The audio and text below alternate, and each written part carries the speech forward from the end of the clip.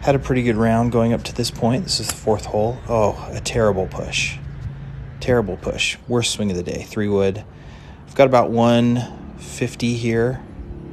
Um, not trying to go long, so muscling, uh, muscling a pitching wedge and left it short. And uh, pretty tough putt. Big swinging right to lefter, kind of down the hill, and just did not give it enough. Just didn't hit it hard enough and left myself about eight feet uh, for par, which are such fun putts to have. An eight footer that you got to make to stay one under. Um, but got a good read and uh, put it in the bottom of the cup for par. Really, really great par.